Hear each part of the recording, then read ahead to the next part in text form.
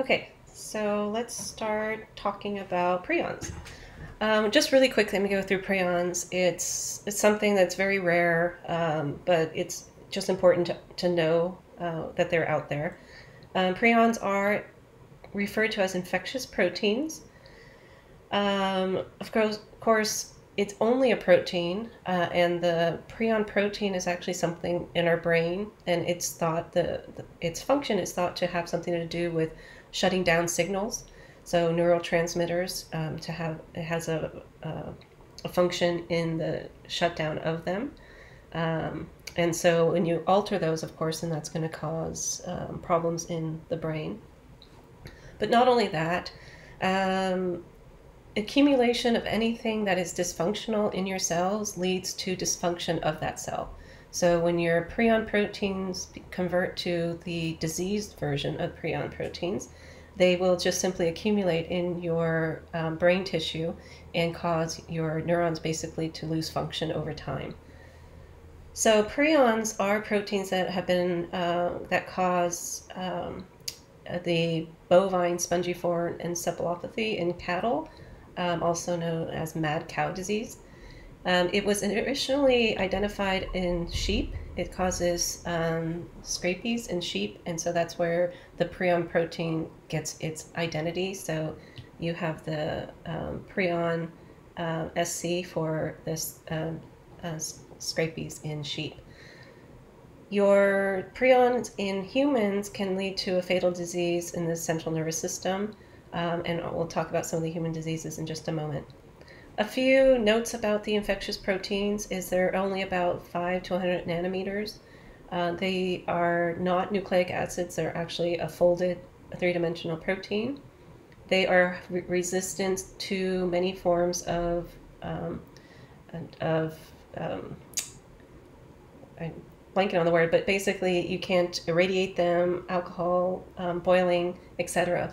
You can put it into a autoclave um, and you can destroy these in autoclaves. Um, so it, it, can be inactivated in an autoclave, shown right here. They are going to what they call replicate. I don't like that term because it's just a protein, but what they've been shown to do is they'll actually, your inside of your DNA, you have the program to make the normal prion protein.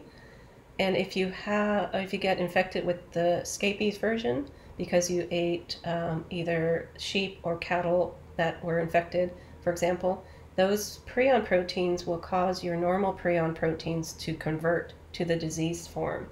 So they will replicate in that way by using your normal prion proteins and converting them to the diseased prion proteins. And they don't really initiate inflammatory response either.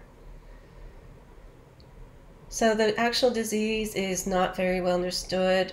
Similar outcomes, you're going to have a loss of neurons. Again, you have an accumulation of these prion proteins, um, disease forms, and they're going to lead to dysfunction in, in your um, nervous system. Um, and so the cells are going to die.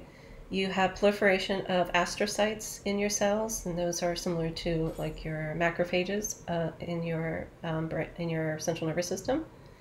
It's called spongiform because you see vacuoles in the brain, and it happens throughout the cortex and the cerebellum of the brain typically. The incubation pe period is months to years, so you could have eaten bad meat and then a year later died from the, the actual disease. The infection is always fatal. So this is key. So there is no treatment for this infection. There is no reverting the prion um, disease protein back to the normal protein, for example. So it always will lead to a fatal infection. Um, so the prion protein is shown here. This is the normal. It's the prion protein, um, and it's, been, it's called C. And the prion protein that's bad is that scabies SC version. And you can see that the proteins have these coils. These are alpha helixes. Um, and so alpha helixes are important for spanning membranes and things like that because they have a lot of hydrophobic regions. Whereas your scabies, you can see that these helixes are changed with these beta sheets, which are shown here. So the conformation is completely different. And if you change the conformation of the protein, obviously it's not going to function as it normally would function. So important to note that we do have a normal prion protein. It's it's coded by our DNA. You ingest the scabies version of the prion protein, and that's going to convert all of your normal to the SC version. And this is going to be what causes the prion protein scabies to multiply by just simply changing your normal prion protein that your body is normally making. Pathology is uh, vacuoles. So this is um, a person infected or who has died from um, prion, and usually this is going to be post-mortem, of course. So this is a prion-infected brain as compared to a normal brain, and you can just see that the tissue has is just vacant, so it leaves these holes, these vacuoles. There are some human prion diseases. There was a form of Kuru. This was in um, discovered in um, the 50s in a, an indigenous population of New Guinea. And what these, what they found, what investigators found in this particular area was that uh, women and children often would die from this unknown um, infection. Uh, and one of the practices of the people were that if the elders passed away, um, the women and children would eat the brains of the elders because they would be passing on their information to the women and children. Um, and however, in this particular population, a lot of the uh, people were infected with these prion proteins. And so, by the women and children eating them, they in turn would get the disease and would die from the disease. And so, they discovered this and they asked the population to stop doing this practice, and the disease disappeared from the population. There is also a fatal familial insomnia associated with prion proteins, um, in which you get um, the initial symptoms are you have a difficulty in sleeping, and then you progress to more neurologic defects such as dementia, and then unfortunately um, it is fatal. There's Creutzfeldt Jakob disease. Um, this is all, also uh, fatal disease, and it's going to lead to um, similar neurologic symptoms. You're going to have progression about four to six months. You're going to lead to paralysis, etc., and then eventually death. Mad cow disease, of course, was when um, the cattle in um, England were infected with the, um, the, the form of prion protein, and then it got passed to people who ate um, from the cows that were affected. Um, if you do get diagnosed with a prion disease, you you typically only have a couple years to live at that point. And again, a lot of people don't know they have it, um, and then it would be diagnosed post mortem. It is very rare. It's a scary disease, but it is not a very common disease. Do you guys have any questions about the prions? Or prions, however you want to say it? Did you say it can only be diagnosed post mortem? So how would they know that they only have a couple years left to live? Right. So it, it can be diagnosed, but you'd have to have some something that would give you a, a person um, know that you were exposed to it. So somebody who's, for example, is a, a sheep farmer and several of their sheep died from um, scabies, and then all of a sudden they start presenting with neurologic um, problems and so something like that. It wouldn't be like someone in Manhattan who has now dementia. You wouldn't think prion is the cause of that, for example. Quick question on that. I just had a friend die from prion disease, and what I heard from a friend, not directly from her husband, is that it was spontaneous. Is that possible that your normal um, prion can change? No, I don't think so. Um, I, am not an expert in prion, uh, so I would, in my opinion, um, with a diagnosis such as that, it might mean that they don't know what caused it. Um, so yeah, she, she, was a veterinarian, so I assumed that she had come in contact with something. But anyway, um, so I. I, was skeptical on that spontaneous diagnosis as well. Maybe yeah. that was just to make the family feel better. Who knows? Right. Exactly. Yes. Yeah. Okay. I have a quick question. Sure. Um, there's some research linking prions with Alzheimer's. I was wondering if you had any information on that. Um, I don't have information on that. Um, Alzheimer's is a um, chronic disease, typically. Um, so death oftentimes is um, years after it's been diagnosed, and it's very progressive in that. Well, and, and you also have very big. You have highs and lows, so you'll have a region where you you lose some sort of cognitive ability, and then you'll plateau, and you'll be maintained at that plateau for a period of time, and then you'll lose more cognitive um, capabilities, and then you'll plateau again. Um, so, but prion is pretty um, progressive, meaning that you, when you start getting those neurologic defects, you just simply just go downhill really relatively quickly. Um, so I, I don't know whether or not it's a, I mean, a lot of things are being tested for with respect to Alzheimer's, um, but I, I don't know if prions are going to be um, a major connection with that disease. Thank you. Okay, so our last part of this is uh, our COVID 19.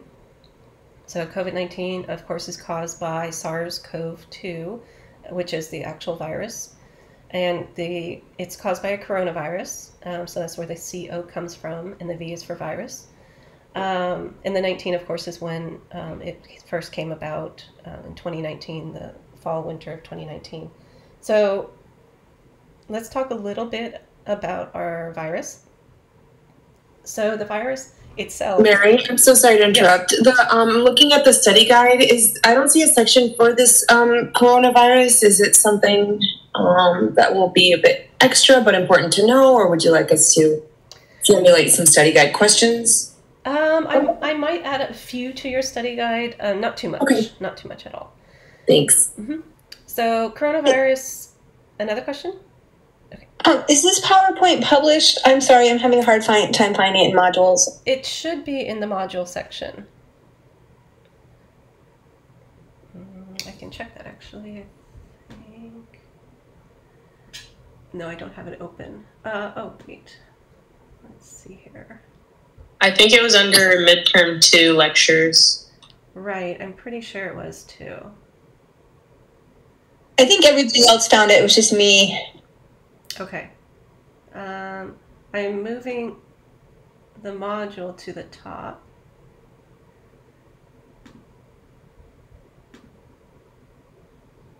Okay, the module should be at the top now. That has it. Okay, so SARS-CoV-2 again is um, referred to as a beta coronavirus. Um, so it basically has that um, spike protein that everybody now knows about, and its receptor is the ACE2. There is more involved with respect to how this virus enters, but it does enter by budding um, through fusing with our cell membrane and then releasing its RNA and its proteins into our cells. Um, you have the another protein is called a hemagglutinin esterase dimer. Um, you have membrane proteins, envelope proteins, etc. So it's it's a typical envelope virus, um, and it is an RNA virus. Now, just as a little bit of a background, we do have other coronaviruses that have um, popped up that have been highly infectious uh, and high, have high mortality. We have coronavirus that circulate and they cause a common cold. A few human strains do that. Um, but these strains have been more in, uh, lethal than the normal um, cold causing coronaviruses. So I did not include those co- cold causing coronaviruses in, on this table. So the first one that popped up was SARS, and some people call it now SARS 1 because now we have the SARS CoV 2. And SARS 1 came about in 2003. Um, you can see here we had about 8,000 cases, primarily um, in China, and the, the fatality rate was 11%. Now, if you look at fatality versus transmissibility, you can see as the fatality decreases, which what we're seeing with SARS CoV 2, the transmissibility increases. So, if a virus kills its host too quickly, it's not going to be able to transmit very well. MERS was Middle Eastern um, respiratory, um, severe respiratory syndrome. So, that was another coronavirus that came out in the Middle East. And we there still are some cases of MERS in the Middle East that come up year to year, so it's still out there. SARS, we haven't seen a SARS 1 case for well over a decade now. So MERS came about in 2011 and it had fewer cases than SARS 1, and part of that is because of the high mortality rate, about a 34% mortality rate with MERS. And then now, of course, we have SARS CoV 2. And in this case, we have a very low mortality rate, high transmissibility rate. And the question is now, when are we going to see the next SARS um, come about? Is this going to be something that we're going to have to now start monitoring? It's going to be hard to monitor because there are a lot of coronaviruses out there in population, animal populations, mammals. Um, and so, it, but again, it might be something that the our public health community might have to um, start to monitor. Um, so, how does so coronaviruses spread to so fast? Um, so they this is just an, a, a, diagram from a paper that was done from 250 patients that are presenting for delivery. And within this population, you had a majority of them that were negative, 84% were negative. You had your symptomatic positive, which is 1.9%, and then you had your asymptomatic um, positives, which were 13.5%. Uh, so SARS, of course, is a respiratory virus. So it, it, we all know it, it's going to be spread by respiratory droplets as well as aerosols, like all respiratory viruses are. Um, how far the respiratory, um, uh, how far the virus can actually travel in the air um, is under debate. But if it's similar to like the cold, um, or not so cold, sorry, measles and influenza, it can it can travel a decent. Um, um, it, it's no different. So our sneezes to cold, to flu, to measles, to SARS is the same. So it's, it's going to have the same sort of distance. Now, as I told you before, measles is the most contagious. Um, and so it can, if you have 100 people in the room, 98% of them are going to get infected if you have a measles case, whereas flu, um, you'll have 80%, etc. So even though they are, um, we're expelling the virus similarly in our aerosols and in our droplets, the actual spread is, is different from virus to virus, and it probably has to do with the minimum infectious dose um, and things, uh, things like that. So how does it get in? We know it has an ACE receptor, so it has to bind to the ACE2 receptor. Um, we also know that it needs a, a accessory host protein, which is um, this TMPRSS2. Uh, the TMPRSS2 is actually what's going, the virus is going to borrow this enzyme. It's a protein, it's an enzyme, to cleave its um, spike so that it can actually um, invade our cells. Um, it is a systemic infection. So, one thing to keep in mind with viruses is that typically the route that they take to get in isn't necessarily where they're going to end up. And we know this with our hepatitis viruses. They get in um, in various ways. Uh, Hep A gets in through your gut, finds its way to your liver, etc. So the viruses get in and then they can disseminate. Um, so the ACE receptors are also going to be found on these tissues. So we have it in our respiratory tract, of course, but we also have some in our gut. Um, in our endothelial cells that line our blood vessels have um, ACE2 receptors. Our heart, that should be heart, sorry, and our central nervous system. So a lot of people were concerned that this virus spread fecal oral because um, people had um, digestive diseases. So um, diarrhea is a, a potential symptom but that's not the case. It's getting to your gut through dissemination. Um, the virus is enveloped, and your stomach acids would rip the envelope to pieces, and the virus would not be able to infect your gut that in that way. So it's getting out, it's getting into your circulation, and then it's spreading to other organs. So our immune response to SARS, of course, is it's a virus. It's an obligate intracellular parasite. And so we want to have our T cells. So T cells is what you need in order to um, eliminate this virus. There's a lot of talk about antibodies. Um, antibodies are very easy to measure, so usually that is a measurement of immunity.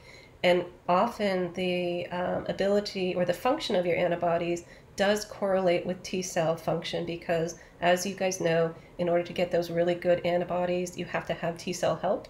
In order to get T cell help, the T cells have to be activated. And if you're activating CD4 cells, then the likelihood is also you're activating CD8 cells. We typically don't measure in a clinic your CD8 response because it's very difficult to measure. There are assays to do that, and we use those when we're doing uh, research, but it's they're typically not um, very quick turnaround, very robust assays that can be very cookie cutter and um, and be used in a clinical setting. So antibodies, ELISAs are typically the um, what is measured, and that, and so that's why there's such a um, a a focus on antibody responses. But for the intracellular pathogen, you have to have the T cell response to clear the viruses, the virus infected cell. Okay, so what happens in some patients? So, again, um, caution to reading um, news articles and things about coronavirus. Really, if you hear something, try to get to the source of where they're getting their information from because news articles love to pick out information and unfortunately, scientists, we, we're, we're often very vague um, in our writing because if we don't know the actual result, we are not willing to say what it potentially could be, for example. So, just a word of warning about reading and taking information from news. Um, so, some patients, there has been reports that they have seen biopsies of lymph nodes and they have a lack of germinal centers. Um, and these patients typically are going to have low antibodies, so it's not clear why this is happening. Also, we've heard about cytokine storm and shock is happening in some patients. And again, this is an acute infection, so uh, most people are going to get infected. They're going to clear the infection, but your immune system is going to keep going. And that can cause um, inflammation problems. In addition, this, because it's a respiratory infection, what we know from other respiratory infections is they wipe out those ciliated cells that help prevent your bacteria from colonizing your lower respiratory tract. And as you guys know, your normal flora bacteria, your staph and your streps, they can cause shock. They have those um, antigens, super antigens, and they can lead to cytokine storms and shock. And so when you start moving in your bacteria, you start getting pneumonia, start getting the potential for shock. Um, so we don't have to go through these basic definitions for you guys, but just you guys know an infection means you get invasion of the body by the infectious agent. In this case, it's SARS. Inflammation is your body responding to the actual infection. Um, and so it's going to release those cytokines that we talked about. It's also going to activate your B cells, T cells, etc. So this is an image of a lung. So you have a normal lung, and then of course you have a lung with pneumonia. Um, and so this is an image taken from a patient. Um, and so it is very serious. And as we're learning more about the coronaviruses, we're getting better at treating these other symptoms. And so hopefully our case uh, fatality rates will continue to decline. So, case fatality rates in the US by age. Um, so, this is from the Centers for Disease um, CDC. And so you can see that you have a higher percentage of individuals dying as their age increases. Um, and very few are, patients are dying in the 20 to 44 range, for example, and even fewer um, that are in the younger um, children. Um, so again, we know that our susceptible population are our aging population, and so a lot of our controls and our community controls are geared towards protecting those populations. Um, so this is detection. So you hear a lot about should we use PCR, should we use antibodies, and again, it's going to bend on the time, and you know that antibodies take time to develop. Um, in these these um, days, all the way up to day 16, um, the antibodies are going to be primarily IgM. Um, IgM is very hard to detect by ELISAs in a clinical setting, especially. There's um, there's more testing available with IgG, for example, and so you're going to see um, antibodies use more on convalescent materials than on uh, actual acute materials. Uh, the viral RNA by RT-PCR can be detected uh, very early, and so that's why it's being used as the primary to determine if somebody is infected or not. Uh, drug treatment. So there's been a lot of talk about different drugs. Remdesivir has been in the news. That's a nucleotide analog. I'll talk about that. Um, notice I, it has a nucleotide and not a nucleoside, and I'll mention why that is. We did we talked about um, the virus um, nucleic acid analogs, and I know somebody had a question for clarification. So hopefully, going through remdesivir will um, reinforce what I previously talked about. Remdesivir was originally designed for Ebola. So that was when a few years back we had that, that Ebola um, outbreak, and so um, uh, Gilead uh, was developing remdesivir. And so remdesivir has also been shown um, to treat hepatitis C, um, and it's recently been approved for um, use in SARS CoV 2 patients. We also have treatments that'll target the cytokine storm. So you have the anti-inflammatory. Um, cyclosporin is an anti-inflammatory. So those are the those are what those drugs are being used for. They're not targeting the virus. Okay, so remdesivir is shown here. So again, we have a um, nucleotide shown here. Uh, this is our normal nucleotide. Um, so I'll just go over this really quickly. This is your sugar. So this is your, in this case, we have an OH. So this is ribose. And then our nucleotide is over here.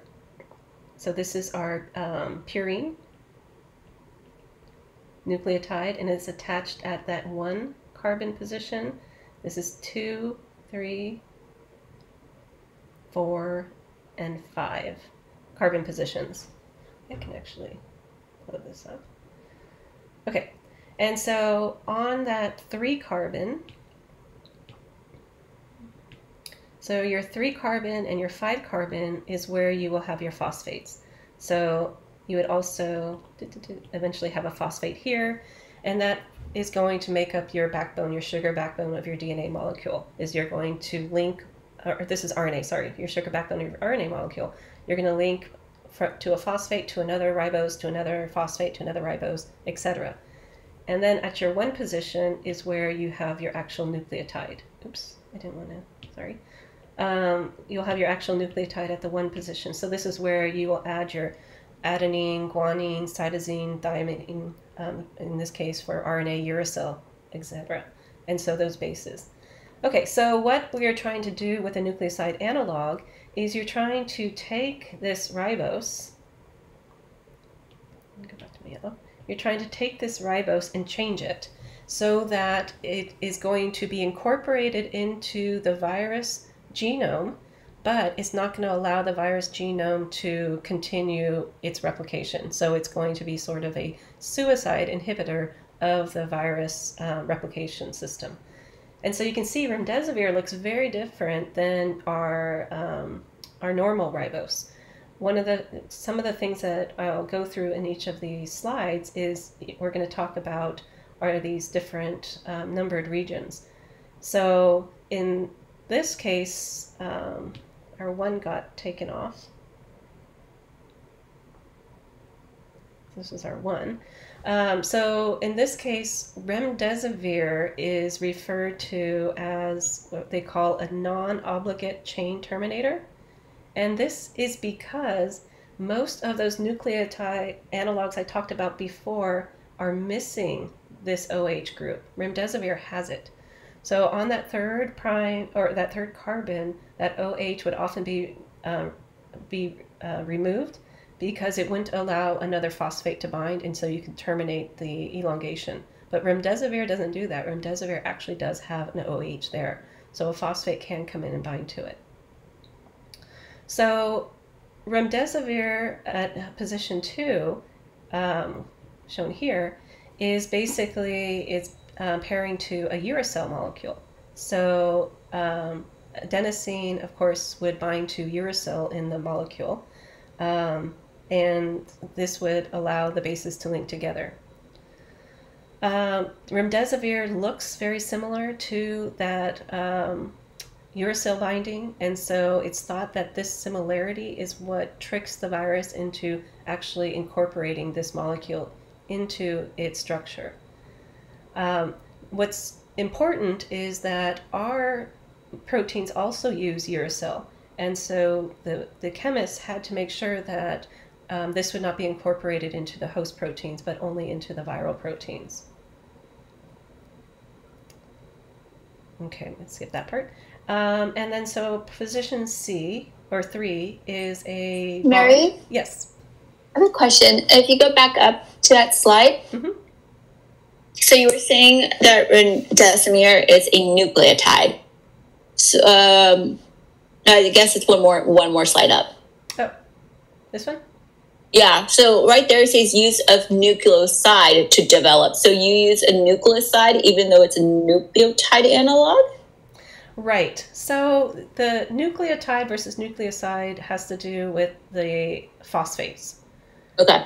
So that's all that that's referring to is as you start adding phosphates, you go from a nucleoside to a nucleotide. Okay. That makes sense. Thank you. Okay, so I think we're here on three. Okay, so the chemist at um, Gilead also wanted to um, bring in some stability, and so that's what this bond here is at position three. And you can see that that bond um, is very different. This whole area is very different in our normal um, uracil than it is for um, your remdesivir. So this is that that just makes it more stable. Now, what the key is, is this four position over here. You can see that we have no cyano group in our ribose. It, um, it doesn't exist. And so what happened with the Gilead group is when they developed remdesivir and they actually um, tested it in, in mouse studies, it was very toxic to the mice. And so basically, it, it's actually just a matter of trial and error. The chemists just kept adding groups to this molecule to see what would work. And they found that by adding a cyano group to this number one carbon, um, in addition to the, um, the uracil analog, they were able to reduce the toxicity in the animals. And so that cyano group basically is preventing the host, which is our cells, from incorporating remdesivir into the host proteins, but it still tricks because of the virus has no proofreading, so it still tricks the virus into incorporating this into their growing um, uh, um, RNA molecule. So because we have proofreading, we can we and we have mechanisms to prevent uh, this cyano group. Um, the side effects go away from the for this drug. And also, they have this 5' phosphate group, of course. Um, one thing that is unique about this remdesivir is, again, it has uh, this, this phosphate group. Most of our nucleoside analogs do not. So this has the phosphate, so it's referred to as a nucleotide analog. Um, and the phosphate is a, it allows it to get into the cells much easier. Um, so that's one of the issues. The the issues with the phosphate. The second is that it's going to um, resemble that normal nucleotide, which um, which then again would be tricking the virus. So that's how remdesivir works. It works similar to those other nucleoside analogs I talked about before, in that it's just trying to trick the virus into putting these analogs into their genome so that they it's a, a suicide and it's a dead end for the viruses. Now, really quickly, oh, a question? Sorry, I was. Uh, is it okay if you do just like a quick summary of? Um, so you have like uh, position three, the nucleoside bond is for stability. Position four is to help reduce toxicity, right? Yes. Uh, the so basically, right. Okay. So yeah, keep going. so four reduces toxicity,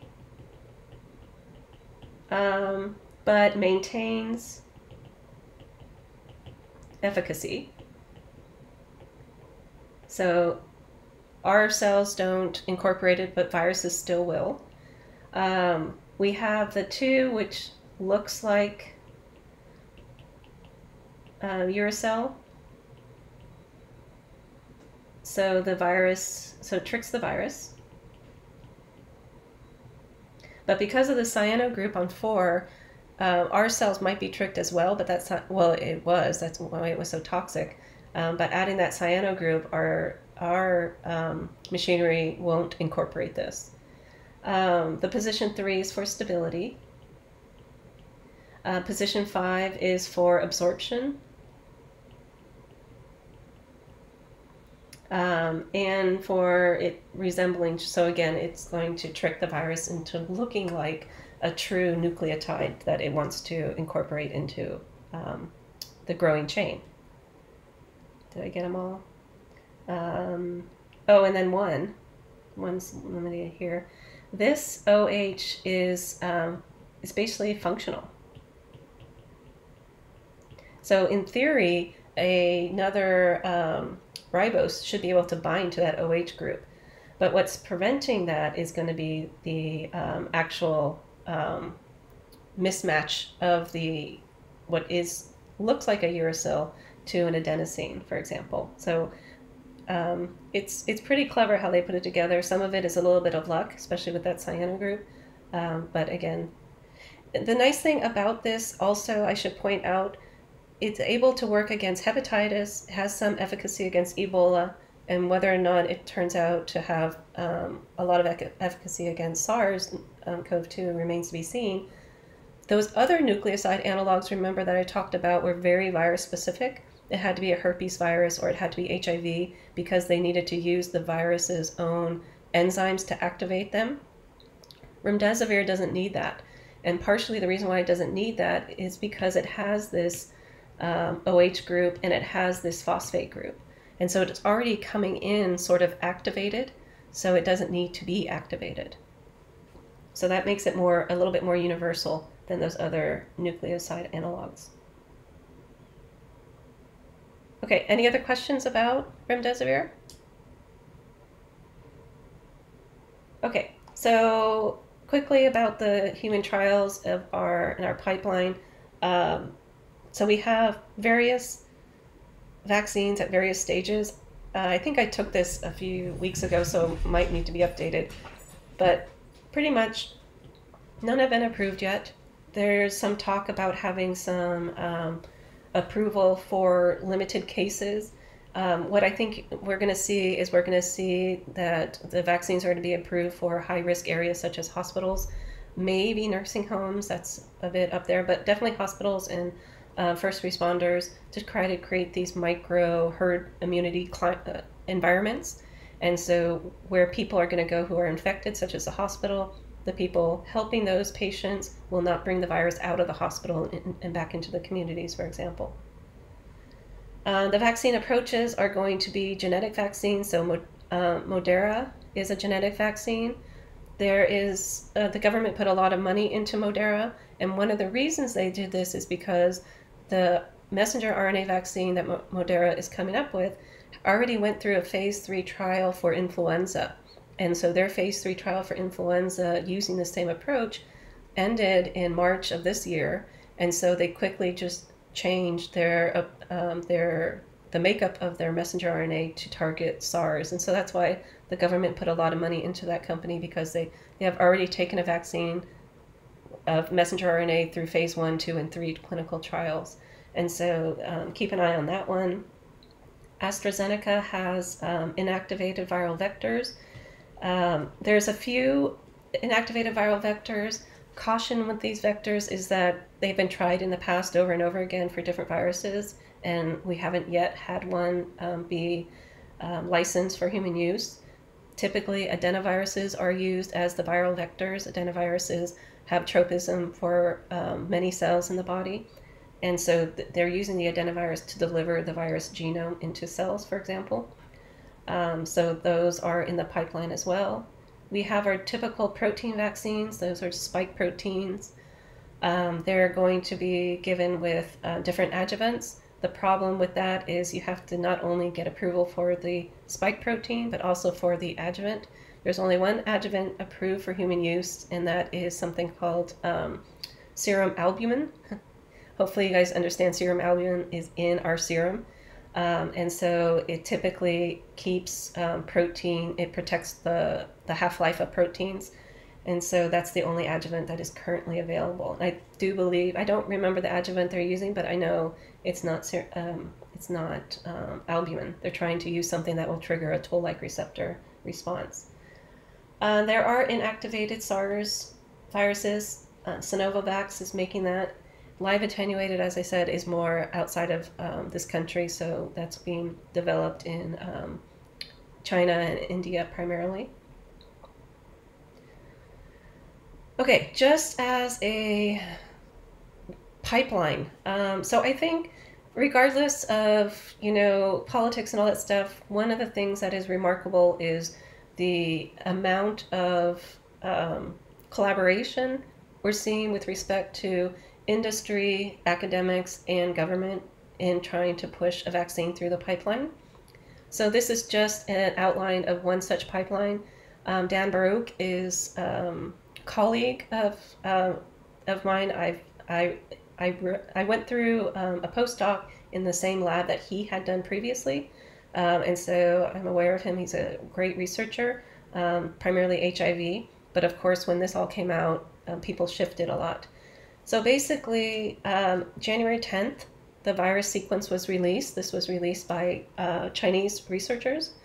Um, January 13th, three days later, the group um, uh, under Dan Barouch ordered genes um, and they started to design the vaccines. And they're using an adenovirus approach, so that same sort of uh, vectored approach I just talked about. Um, and January 31st, they they formed a collaboration with Johnson and Johnson. February 6th, they started testing their vaccine in actual animals. Um, February 24th is when they made what's called the virus challenge stock. So basically, the viruses became available, and so they grew them out so they can test um, their vaccine using actual live virus. In March, they started testing in different animals mice, ferrets, monkeys uh, on the 30th, the manufacturing of the vaccine for Johnson, Johnson & Johnson actually began, and then they started their first human trials in September. So this timeline right here takes usually five to seven years. This timeline from here to here takes another five to seven years. So going from making a vaccine to actually getting it into the population is a minimum of about 10 years. And so you can see that this timeline is months. And so I think that is something that should be commended. Now, whether or not it's going to turn out to be um, have great efficacy, uh, still doesn't uh, diminish the fact that the timeline and the pipeline has been accelerated. Now, of course, going from here to here, um, safety is going to be an issue. So um, I don't think we're going to compromise safety for e- efficacy. Um, but again, it, it's um, it's pretty pretty fast paced.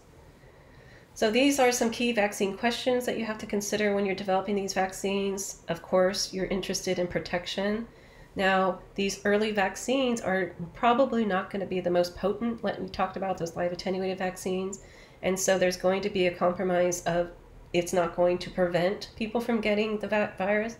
It might not even prevent some of those early symptoms, but hopefully it's going to prevent the later symptoms, the pneumonias and things. So you're going to get prevention, uh, protection from those diseases. Again, how many doses? A single dose, multiple doses? Um, will there be enough new infections to show that it protects? So this is an interesting point, and there's a group in England that is trying to get approval to do live virus testing on vaccine approaches. This hasn't yet been approved ethically, but they are starting to recruit people who are interested in being part of the study. They're going to have a group of people of about 90 they propose to test different doses of the virus to see which dose of the virus is actually infectious. So these are people who are going to be given actual coronavirus SARS-CoV-2 into their uh, to the respiratory tract. And then they're going to have another group of people and they're going to their idea is to vaccinate them with different vaccines and then do a challenge um, with the actual virus. Now human trials such as that have been done in the past. However they've only been done on pathogens that we have um, treatments for. So they have never been approved on a pathogen that we don't have a clear treatment of. So whether or not they get approval for that um, who knows? But on the other side if you're going to give a vaccine to a population, try to show efficacy, there has to be enough circulating virus in order for people to get exposed. So that's one of the things, or how are we going to show that a vaccine actually protects? And then there's going to be, is the vaccine going to be available? Can we make enough? Right now, we can't make enough to make herd immunity for flu. So, um, and we've been doing that for years. So, can we make enough of the vaccine? And I think you know, we've all heard about the government's warp speed or whatever they call their, I think it is called warp speed. Warp speed is not for pushing a virus out unsafely. What warp speed's um, goal is is to put the money into um, uh, companies like Johnson Johnson and Moderna, so that they can actually start producing the vaccine before we know it actually works. So just in case it does work, they have a stockpile of the vaccine that can actually be um, used immediately. Um, how about age? So, one of the problems with vaccine trials typically is that we always test them in healthy um, adults around 18 to 40 years old. We know that we need to protect our aging population. Um, so, are they going to be included into vaccine trials? We'll just have to wait to see. Uh, does the vaccine require cold chain? What that means is our live attenuated vaccines, our gold standard, has to be properly um, kept chilled. And so, one of the problems with vaccines in developing countries is they don't have the resources to keep the vaccines cold. So, um, in the 90s, for example, they were having outbreaks of measles, and they were claiming that these were taking place in uh, vaccinated populations in Africa. But when the CDC actually went down there and tested their vaccine stocks, they were all non viable because they hadn't been kept chilled. And so, even though they were administering the vaccine, it had no potency. So, they were basically just giving the people um, an injection for no reason. Um, how durable is the immunity? So, that's a big question. Of course, is it going to last? Do you have to vaccinate every year. Um, do the vaccine antibodies enhance infection or cause this? It was interesting. The CDC in um, February put out a call for um, for people to do investigations on this novel virus. And um, one of the questions they had was to test whether antibodies enhance infection. This comes from dengue virus. Um, so it's always in the back of everyone's mind when you have multiple strains of a particular virus. And now we're seeing SARS, MERS, SARS CoV 2. Um, are the antibodies helpful or are they going to facilitate the actual infection? One way they can facilitate the infection is that um, your macrophages have receptors to bind to your immunoglobulins, those FC receptors, and macrophages are found throughout the body. They can move things around. So, can a macrophage in the lung pick up coronavirus, move out of the lung, and spread the infection, for example? And then there's also that multifocal inflammatory syndrome in children. This is again another type of shock. Overreact. Uh, it's thought to be an overreaction um, to the actual infection. And so, will the vaccine protect against that? Okay, so just the last slide. Um, so again, we have, it's almost as if the the virology community and the vaccinology community were building up to something like this because we have tried all of the approaches that everyone's trying now for other diseases. And so everything's getting a little bit better. Our understanding of these vectors are getting better. Our understanding of how to deliver nucleic acids is getting better. And so these advances are accelerating our responses to this actual uh, pandemic. Even though people are, you know, a little bit weary, they think everything's going slow. It's going at rocket speed according to science and discovery, in my opinion. Um, some things to consider are SARS-CoV-2 infection. Uh, is it seems like you can get transmission before symptoms. We also have our asymptomatic super spreaders, they call them. Um, and so you don't have to, you don't even know you're infected and you're spreading the virus. Uh, the infection results in, of course, that hyperinflammatory state. And so, when um, if you even if you look at influenza and deaths associated with influenza, they're usually linked to a pneumonia, and that is again our bacteria moving in and causing those um, side effects. Uh, currently, we have no highly effective treatments. Doctors are trying many different approaches. Um, and oftentimes they feel like they're feeling in the dark in some ways. Uh, we do have prevention, so mass physical distancing, hygiene. So this whole um, pandemic sort of bringing together three critical things that we know to help prevent infections. There's sanitation. So that's number one. oops, sorry, I wanted to put number one. Um, we have our drugs and antibiotics to um, help with secondary infections. And our three, we know the value of a vaccine. So sanitation was approximately in the 1900s um, to 1920. That's when you started having public health and sanitation that really helped control bacteria infection. Antibiotics, I believe, was in the 30s, maybe 40s, something like that. Vaccine was about the 50s. And so these approaches have been around for a long period of time. And so with this coronavirus pandemic, I see, I think we're reinforcing how important they are for infectious diseases. Okay, any questions?